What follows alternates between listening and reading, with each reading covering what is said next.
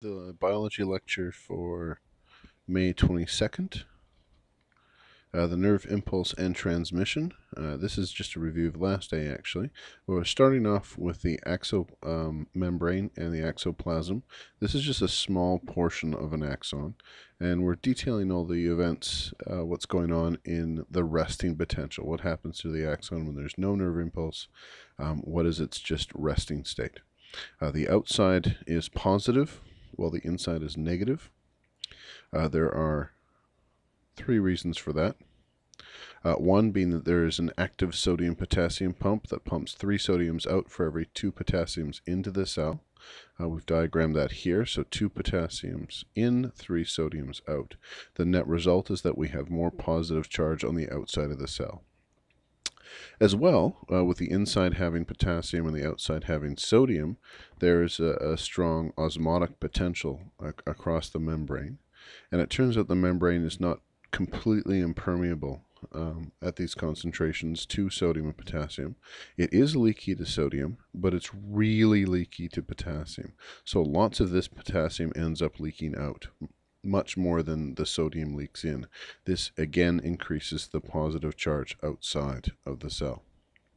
So more potassium out than sodium in by diffusion. And the third reason is that inside there are large negative proteins in the axoplasm. These are too large to move across the membrane and it's represented by this structure right here. So we have large negative proteins to help keep the inside negative if you measure the potential across this membrane, it's about negative 65 millivolts. The action potential.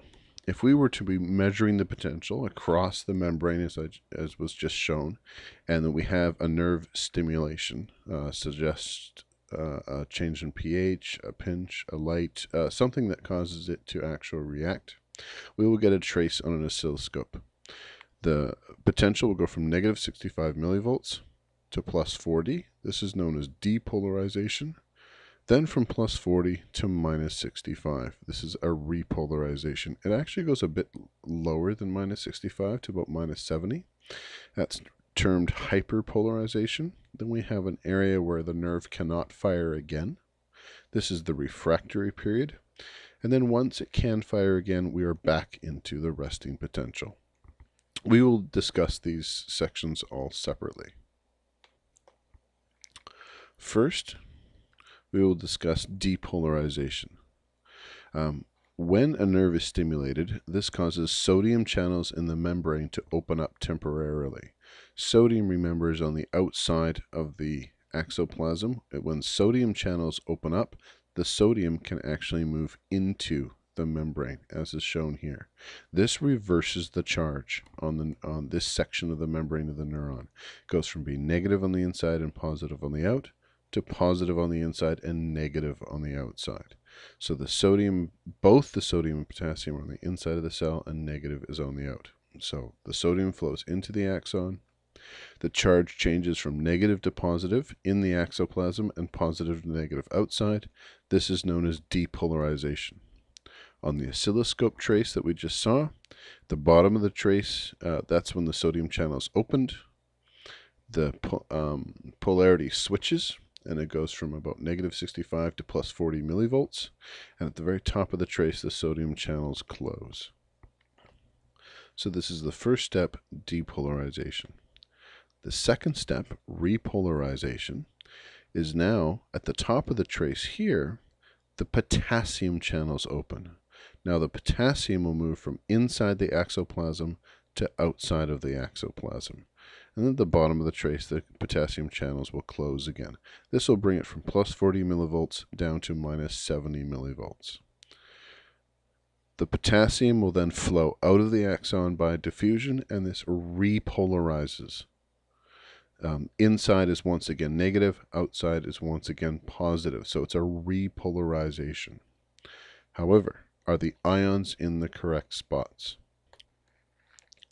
The ions are not. Instead of having sodium on the outside and potassium on the inside, they are now reversed. So although we've re, uh, repolarized it in terms of charge, It's down to about minus 70 millivolts, which is close to what we had before.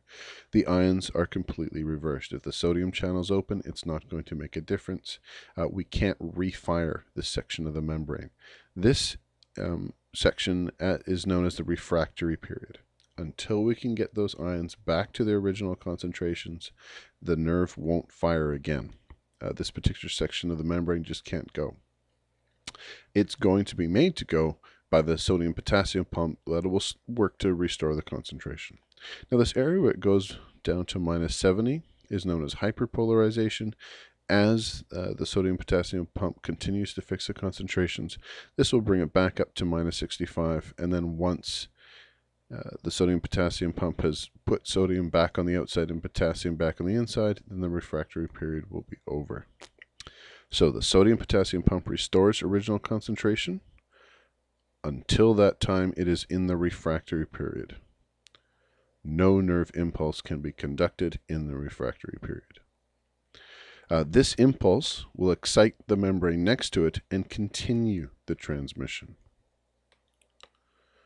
How is the nerve impulse then conducted uh, down the membrane? If we think of this as a long membrane um, made of multiple sections, uh, we can see in this section uh, the sodium channels have opened and are probably about to close.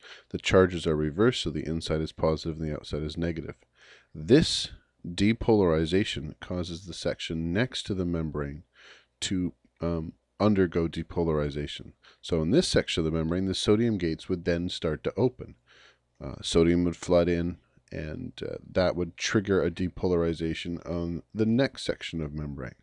So depolarization of one section of the membrane causes depolarization of the next uh, section of the membrane, and then that moves down the neuron. It doesn't reverse, it propagates in one direction only, because behind this although we have uh, inside negative, outside positive, right here we have the sodium potassium pump working and it's in the refractory period. It can't refire once it's in the refractory period, so depolarization doesn't reverse. If it's further far enough away, it won't depolarize the area behind it. In this way, it will only move ahead of it. If we were to show what's happening in terms of millivolt volts down here on the trace, we have the first section. This is in the resting potential. This area is undergoing depolarization and then repolarization, uh, hyperpolarization. This area is in the refractory period here.